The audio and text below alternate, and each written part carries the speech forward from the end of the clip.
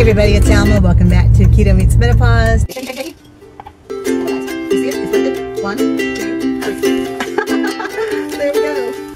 Hey everybody, it's Alma. It is a Cornish game hen kind of day, guys. Let's get started. All right, guys, so you've seen a Cornish game hen in your grocery store. If you're planning to make it, you need to do some pre-planning because you'll need to defrost this. You'll Now, what you could do is you could go ahead and brine this like you would a um, turkey and or you could just probably soak this for a few hours to get them defrosted. I just put them in the refrigerator the day before and you're good to go the next day. I have cleaned these off and also dried them off. Here they are. All right, so I have my scale set to zero. This one is 23.3 pounds. They're supposed to be right around 22. 22.3 pounds. Did you hear that? 22.3 ounces. Check out this guy. This is 20.6. Most people would take their lovely bird and they would stuff it with some rosemary. I'm not a fan of rosemary, tell you right now, just not. So what I'm gonna do is something very basic, guys. I'm just gonna oil these little bad boys. You could stuff some garlic under here, which would be great. Uh, I might put one clove of garlic under the skin. We'll see. I'm not a huge fan of olive oil. Are you guys? I am going to actually use sesame oil. I know it's not as great for you as olive oil. However, I think the taste would be great. So I'm going to oil these down with some sesame oil and then salt and pepper, and that's it. You can use your ordinary salt and pepper, which would be great. I told you guys I found this pecan smoked uh, sea salt at Big Lots. I love this. In fact, I went back the other day, they didn't have any. I'm hoping they restock. I will buy a few if they have them. Um, now, I haven't even shared with you what I'm actually making. I'm kind of craving a little bit of Thanksgiving right now, so I thought, let's see if we can make something similar to a, a Cornish stuffed game hen. I used to make this, and it was, of course, very carby. Your traditional stuffing would go inside of here, and delicious. I I'm gonna go ahead and try and make a cauliflower version of this. All right, guys, so let's go ahead and get these seasoned. Woo, I'm gonna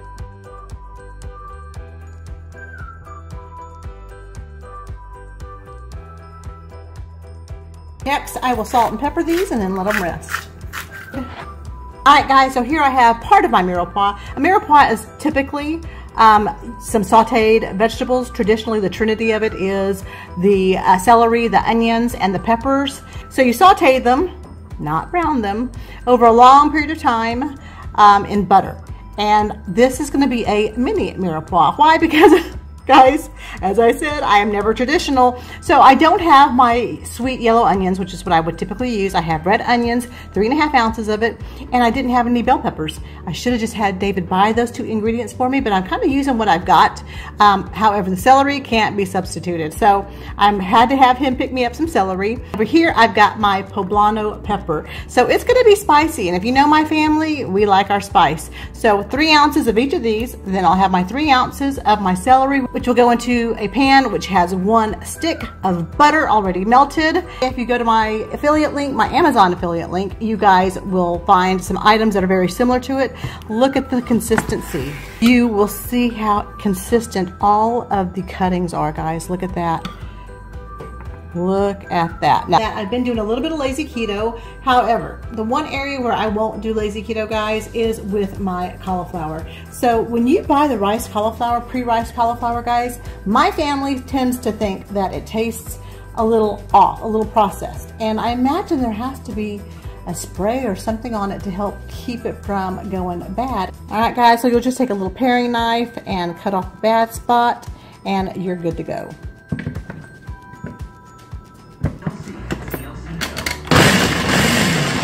Entire process took all of about four minutes to get it all chopped up and put into the processor and get my cauliflower rice. I think David is home. He is. He is. Oh my gosh, what do you have for me, David? He spoiled me. I don't even have to chop it. So guys, a quick demo. Oh my goodness. A quick demo being done by Daisy the chef. Or not. All right, so guys, you'll just open it up. You'll flip it over and check it out, guys. Look at these. They're all perfect. All right, guys, so here we have everything prepared. I have my bell peppers, aka poblano peppers. I have my onions, aka red onions, and I have my celery, three and a half ounces, three and a half ounces, eight ounces. I have my uh, cauliflower. I have my sesame oiled Cornish game hen, about 20, a little over 20 ounces on each. And I have my air fryer warming up at 320 degrees for 10 minutes. Sauteing our vegetables. I have one stick of butter in my pan. And you're gonna saute this over low heat. You're not browning these, you're just sauteing these. I'm throwing in everything at once. We're gonna go ahead and let these simmer over low heat. All right guys, so the air fryer just went off. It's preheated. Again, we did this at 320 degrees for 10 minutes. Now we're gonna take our Cornish game hen, we're gonna place it into our air fryer, and you're gonna wanna cook this so that the deep thigh area is at least 170 degrees. I have a small air fryer. Look, I have a small air fryer. I've got this in my air fryer for 10 minutes. Gonna flip it over every 10 minutes, probably 30 minutes. So I'm gonna flip it over now, guys. See how well that works. Good job. Flip it over. Let's cook this for another 10 minutes. We'll be back. Have this reduced down quite a bit. One thing we'll be adding from here on, guys, is salt sage, and a little bit of poultry seasoning because we're trying to do a uh, I don't know, what, Thanksgiving in July. Now, let me tell you, if this was traditional seasoning, I would most likely be using close to half a container of sage. I love sage dressing. Ooh, it probably would have been good to have some gizzards in here too. All right, guys, so I am throwing in about, oh, I don't know, two tablespoons of sage and about quarter teaspoon of poultry seasoning. It already smells like Thanksgiving in the kitchen now. Oh my gosh. And then we're gonna add in our cauliflower, one cup at a time because I don't know how much we're gonna actually need. That's two cups. Let's mix around three cups and see where we are. one more heaping and that takes it to four and I think that will be sufficient guys. Let this cook down a little bit. That is really good. All right, let's go ahead and uh, flip the bird one more. flip the bird. That's not what I meant guys. Let's turn the bird. Another 10 minutes, see where it is. All right guys, so I cooked this for an additional six, so about 36 minutes. And look how pretty it is, but guess what? I can't find my meat thermometer. I'm gonna kind of cut through it a little bit, see if it's ready, and we'll move on to the next step. Okay guys, I've taken about three quarters cup of the stuffing mixture and I have some pre-dusted pork rinds, guys. I'm gonna add about two tablespoons to this. The first one, I'm just gonna mix in. And the second one, guys, we're gonna top off. And then we're gonna put this in our air fryer at 320 once again. Probably about 15 minutes. Now, there are plenty of recipes out there, guys, that use a you know, a faux cornbread and they make a stuffing that way. I just really wasn't in the mood for turning my oven on.